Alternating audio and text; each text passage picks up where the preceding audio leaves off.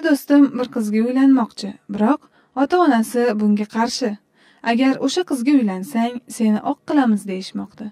Aytingchi oila qurish uchun ya'ni uylanish va erga tegishda ota onaning roziligi muhim shartmi?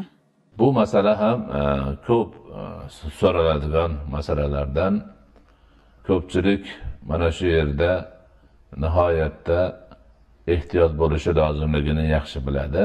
Shuning uchun qayta qayta so'ralib turiladi bu savol.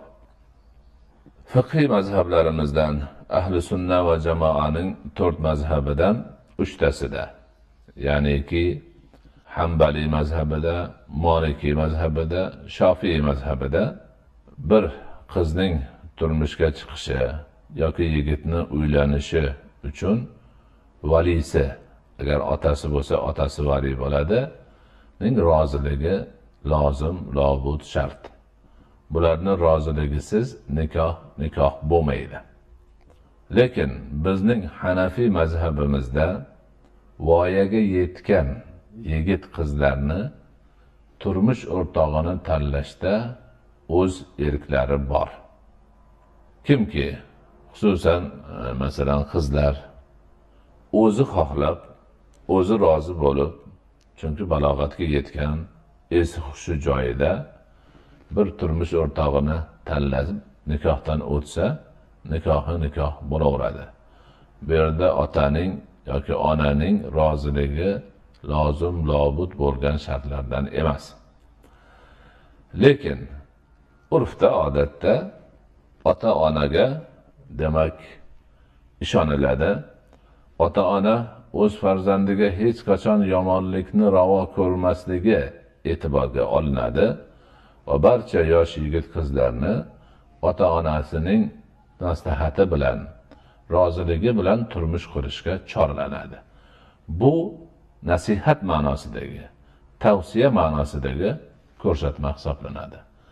Lekin shar'iy hukm ma'nosida emas.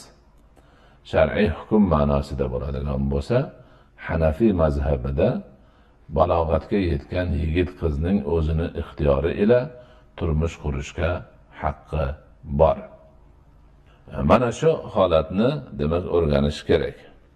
Ikki tarafni roziligi jamlansa nihoyatda yaxshi bo'ladi. Misol uchun ota xohlagan kuyovga qiz ham xohlab turmushga chiqsa nihoyatda go'zal bo'ladi. Hech ko'ngilda xiralik qolmaydi. Bu holatda hozirgi savol berilayotgan holatda demak ota ona ajrab ketgan ota boshqa yoqda yuradi e, farzandlar ona bilan turadi. Ana endi qizni turmush qurishiga e, yetib keldi ish. E, rozilik topildi kuyov ham tayyor lekin ota norozi bo'lib turibdi.